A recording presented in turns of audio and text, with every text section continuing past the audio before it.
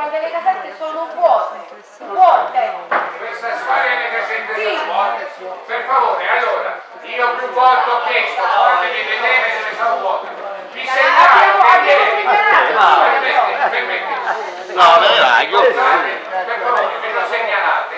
Però la cosa è chiara, quelle case che abbiamo chiamato Eh, ma su. quanti controlli Sì, oh, oggi? eh, eh, Il TAR ha detto che possono vabbè, sì, un rimanere attimo. quindi chi ha preso la casa e la occupa, noi abbiamo dato l'ordinanza di, di liberare la casa e il TAR le sospese. Per cui io ho mandato i giro urbani, magari lo statutario, ho fatto tutto. il TAR ha detto la casa è vuota,